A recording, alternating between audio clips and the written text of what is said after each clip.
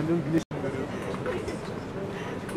731 haftadır gözaltında kaybedilenlerin akıbetini açığa çıkartacak, faillerinden hesap soracak demokratik bir siyasi iradenin olmadığını söylüyoruz. 32 haftadır ağır insan hakları ihlallerinin mağdurları ve tanıkları olarak anayasa ve uluslararası sözleşmelerle güvence altına alınan temel hak ve özgürlüklerimiz iktidar tarafından ihlal edilerek Galatasaray'a çıkışımız engelleniyor. Bu topraklarda hak ihlallerini kamuoyuna ulaştıran gazeteciler de yönetenler tarafından her zaman hedef olarak görüldü. Nazım Babaoğlu da 90'lı yıllarda hak ihlallerinin haberlerini yapan ve hedef haline getirilen gazetecilerden biriydi.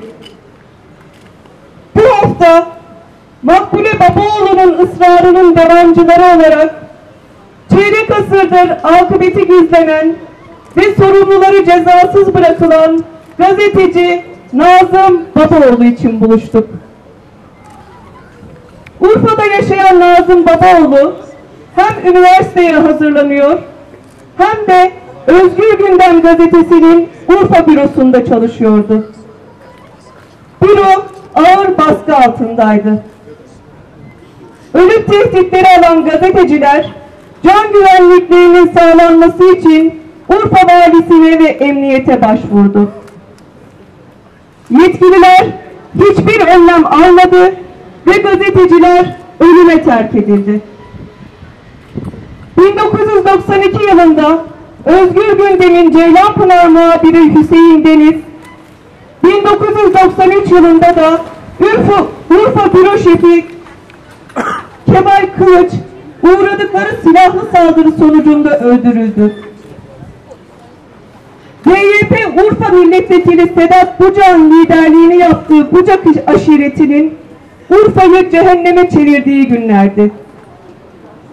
Ağır silahlara sahip, illegal gözaltı yetkisi olan Bucak aşireti, tecavüz, yargısız infaz ve gözaltında kaybetme gibi ağır insanlık suçlarını fütursuzca işledi.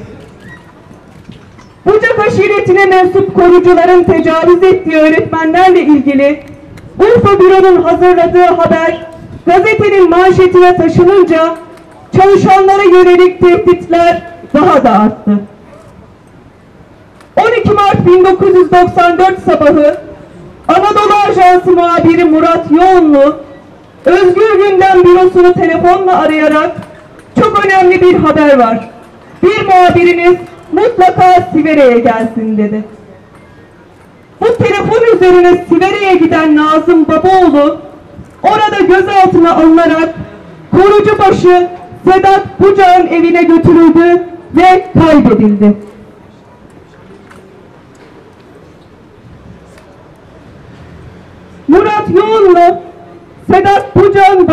Tehdidi altında gazeteye telefon ettiğini söyledi. Nazım Babaoğlu'nu Bucak aşireti korucularının arabaya bindirerek götürdüğünü ve Sedat Bucak'ın işkencehane olarak kullanılan evinde görüldüğü tanıklarca beyan edildi. Babaoğlu ailesinin yaptığı tüm başvurular sonuçsuz kaldı. 25 yıldır Nazım Babaoğlu dosyasında hukuk işletilmedi. Etkin soruşturma yürütülmedi. 19 yaşındaki gazeteci Nazım Babaoğlu'nu kaybedenler cezasızlık zırhıyla korundu. Babaoğlu ailesi Anayasa Mahkemesi'ne yaptığı başvuruya ise halen bir cevap alamadı. Makbule Babaoğlu 4 yıl önce Galatasaray Meydanı'na gönderdiği mektubunda sadece oğlumun nereye gömüldüğünü bilsem bana yeter. Sadece onun kemiklerini bulmak bana yeter. Babası ondan bir haber alamadan öldü. Ben sağken oğlumun mezarını görmek istiyorum. Ben sağken bize bu acıları yaşatanlar hesap versin istiyorum diyerek kamuoyuna seslenmişti. 2017 Ağustos'unda Nazım'a kavuşamadan aramızdan ayrılan Makbule annemizin ısrarını sürdüreceğiz.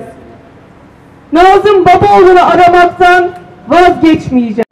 aile olarak yani aşiret olarak rakip dediğimiz e, Bucak aşireti babamızı kaçırdığı için amcam e, kendisi Bucak aşiretine bir e, aracılar ortaya koyarak işte babamın akıbetini e, sormak için e, Bucak e, aşiretinin evine gitmişti.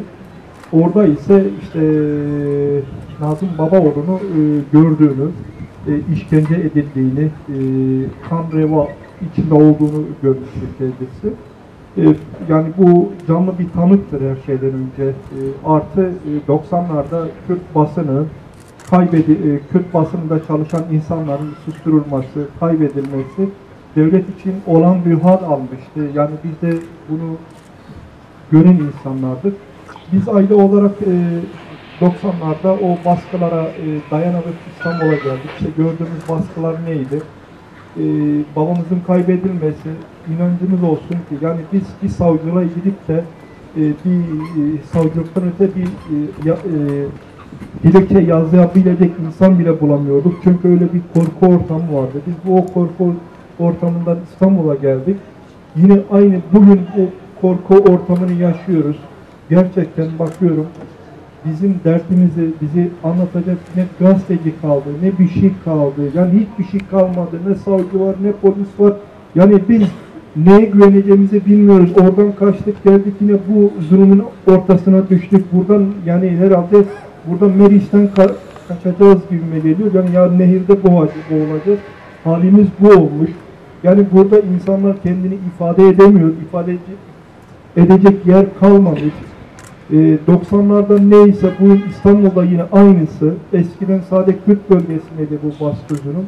Bugün burada bu ülkeyi yönetenlere bugün bunu söylemek istiyoruz. Yani insanlar birbirini öldüre öldüre bir yere varılmaz. Gerçekten varılmıyor. Yani 20 yıl, 30 yıldır bu baskı, bu zulüm bir yere varılmıyor. Buradaki savcılara, hakimlere de sesleniyoruz. Bugün kafanızı kuma eğiyorsunuz ama işin so- sonucu yok. Eskiler de denedi yok. Ha, adalet istiyoruz biz burada. Kayıplarımızın kemiklerini istiyoruz. Ee, diyebileceğimiz bu kadar. Taşıdılar Nazım'ı. Gazeteciydi.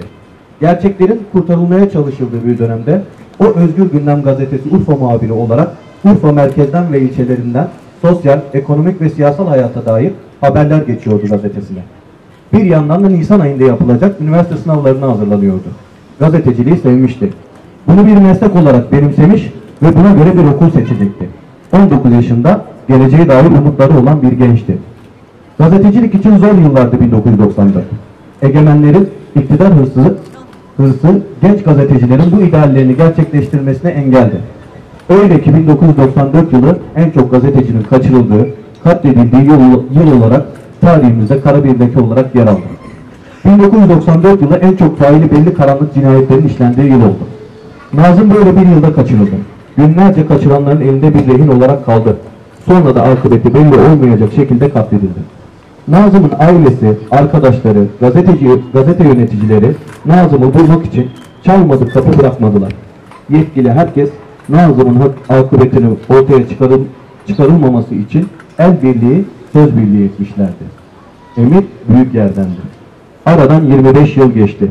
Yani çeyrek asır. Bu süre içinde birçok yeni delil, yeni tanık ortaya çıktı. Ama kamu adına hakaret eden, e, har- hareket eden hiçbir savcı, hiçbir adli merci yetkilisi bu yeni delillerden hareketle Nazım'ın akıbetini ortaya çıkaracak bir girişimde bulunmadı. Çok iyi biliyoruz ki her açığa çıkarılmayan bir faili belli cinayet yeni yeni siyasal cinayetlerin teşvik belgesi oldu. 25 yıl içinde bu gerçek defalarca kendini gösterdi. Bu durum tüm topluma, tüm insanlara ve insanlığa yönelik tehdit durumuydu. Bu gerçeği cumartesi anneleri, cumartesi insanları olarak başta Galatasaray meydanında ve birçok kent meydanında haykırmaya çalıştık. Yeniden bir arada olacağız. Katılımınız için teşekkür ederiz.